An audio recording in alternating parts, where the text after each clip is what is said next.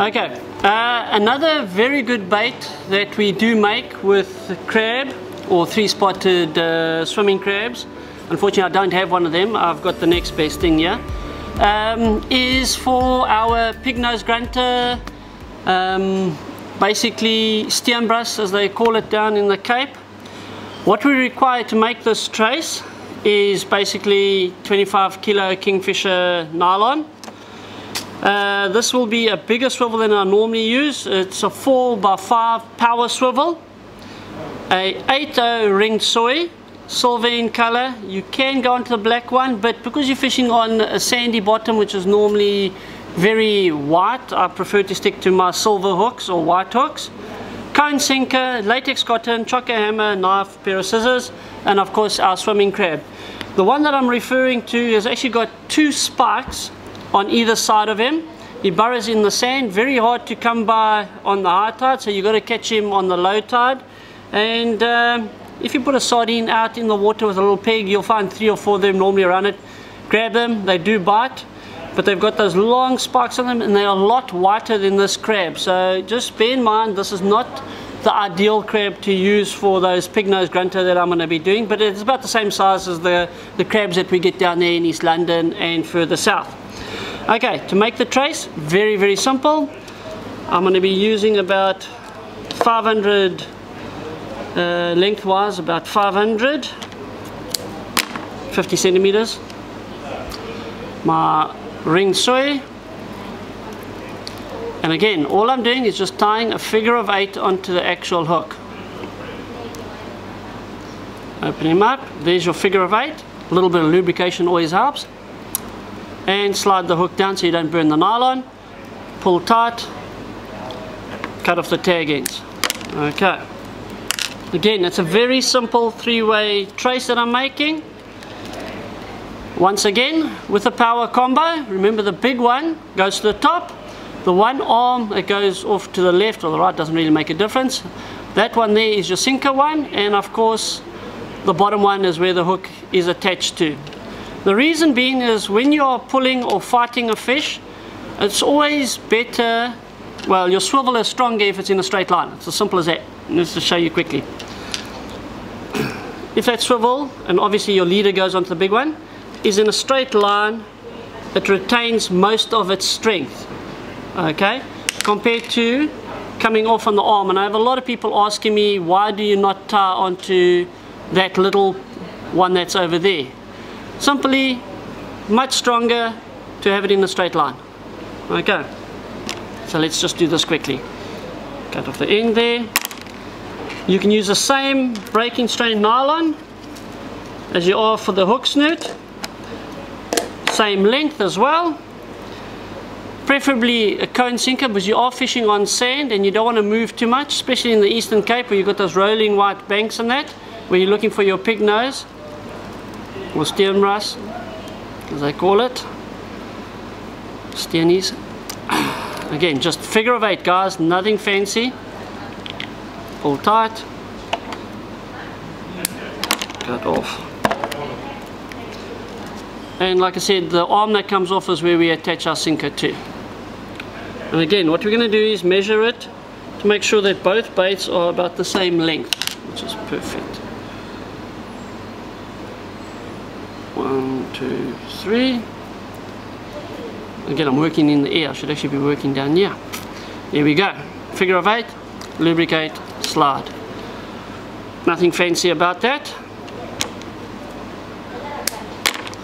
trying to measure and make sure my, my length of my trace is about the same. There we go, which is absolutely perfect for what we want to do. Okay, now we've got our trace made. Let's start playing with our bait. There's our crab. There's two ways of doing it. You can either use the whole crab if you want. Um, the only difference with the whole crab is that I would actually take off the top shell. Uh, generally there's a lot of tobies puffer fish, puffies as they call it in the Eastern Cape. So we like to keep the shell on if there's a lot of those little uh, peckers around. A good strong knife is recommended, not a short little flimsy knife like this. Very simply what we do, that one has got a very hard shell. It's not like our ghost crabs like, that we get in the Natal. It is extremely hard. So we just take chokka hammer and our crab. I'm just going to put this one on top. I'm just going to use the hard part or the bigger teeth on our chokka hammer just to break the shell. That's all I'm trying to do is break the shell get a bit of smell going. So the hard part the sharper teeth part of it. And what we do is we just go like that. You see I've just broken it. And just lightly tap it. And if I've done it properly I should be able to cut him down the center. Okay. That big pincer over there again hard side of the actual chokka hammer the bigger teeth part of it. And it's just to get more of the smell going. There's a lot of um, flesh in there. You can see there's a lot of uh, meat in that. I just want to take him down a bit.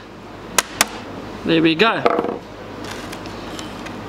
You can see what I try and do is just take a little bit more off of it. That's okay. Okay again all we're going to do let me just put this over here so you can see what's going on. And that part away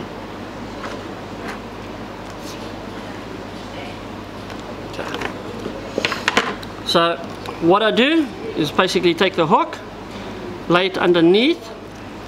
And remember this is a white crab that we're using so it might look a little bit odd as it's sitting here being a brown crab latex cotton. This is the kingfisher latex cotton. And I like to use the thin latex cotton for this just because it's less obtrusive in the water especially in the Eastern Cape where you're fishing and the water is very very clean. So all we're doing is just binding it up and it does look messy believe me it is when you're actually doing it like that. Take the other part of it. Just breaking off the one pincer. And I'm just going to quickly do this again. I don't want to damage that too much. Again just take that and just soften him up a bit Okay, so there's the second part of the crab. and we turn it upside down. So we've got the white side facing to the top. And again, all I'm going to do, there we go, latex cotton, and we just bind it up.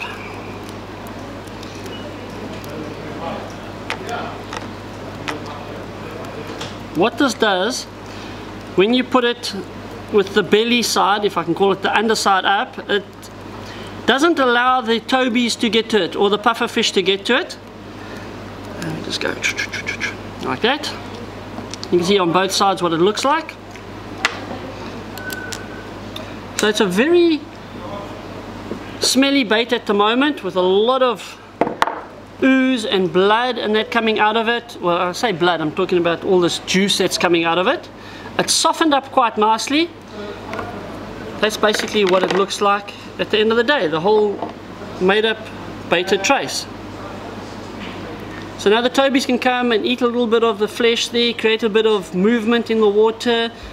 It also attracts the pig-nosed grunter to the bait. There's a lot of smell coming and dropping out of that as it stands at the moment. But it is hard enough on the bottom side that the peckers can't get to it or the smaller tobies can't get to it on both sides but there's a lot of smell, a lot of flesh on the inside of this. You can throw it as hard as you want, it's not going to come off. And what you're looking for are those rolling white banks with troughs. So a bank and a bank and the rolling white water that's coming off of it, that's where you want to fish for these pig-nosed grunter, steenbras, uh, basically guys that's it it's a very simple easy bait you can also add chokka to the inside of this actual bait just to give it a lot more smell in that okay remember to hit the chokka so it's very very soft and spongy so the little particles come off It creates a little bit more smell in the water, but that for pig nose grunter is absolutely deadly, deadly, deadly. There we go guys.